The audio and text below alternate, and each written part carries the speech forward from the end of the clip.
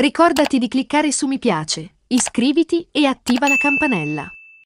Urla e disperazione per l'estremo difensore dello Spezia che si è portato anche le mani sul volto. Immediati i soccorsi in campo con Dragoschi che ha rimediato danni pesanti.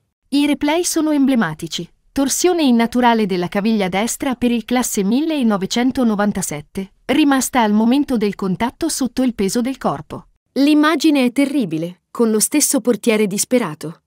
Il portiere polacco dello Spezia ha lasciato il campo in barella al 43 minuto del primo tempo della sfida contro il Verona. Dragoschi si è lasciato andare alle lacrime. I giocatori hanno provato a consolarlo.